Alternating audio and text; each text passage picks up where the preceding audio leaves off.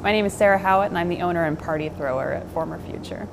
We like to think of ourselves as past meets future or past meets present. Um, we're taking historical styles and recipes and reinventing them in a new way. A good example would be our salted caramel porter, which is an 1800s porter recipe that we then added the salt and lactose to to bring it into the modern day. And then as far as something special, we have a side project called Black Project. Those are once a month bottle releases. They're all done in a traditional Belgian way, so spontaneously fermented beer.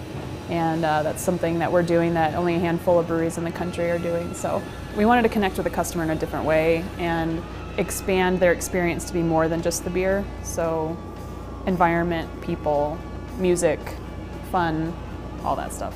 So I'd say the thing that gets me the most excited about waking up in the morning and coming to work every day is the fact that um, I get to work in an industry that is exciting and booming um, with people, other people in the industry that are also passionate about what they do. And um, to be able to create something and share that with others and bond over that and um, kind of improve the world um, in that way is really exciting. And I think just the diversity of this neighborhood, the history behind the buildings here, I think that's, that kind of lends itself to just a really neat place to start a business and to live and spend your time.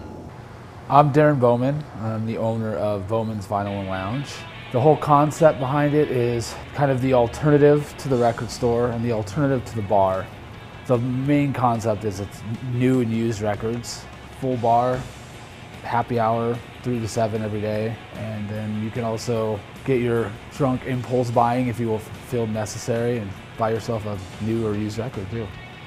I want it to be for everybody. I want people to come here and find something they want to listen to, not just punk rock. I don't know. I also think it's important to have a variety in, in this area, in our scene. The whole thing behind it is kind of blending two things that I'm good at, apparently. Music and drinking, I guess. But I, I wanted something different, and it was kind of one of those things where every time I would go record shopping, I was like, man, this would be so much better if I just had a beer in my hand, you know?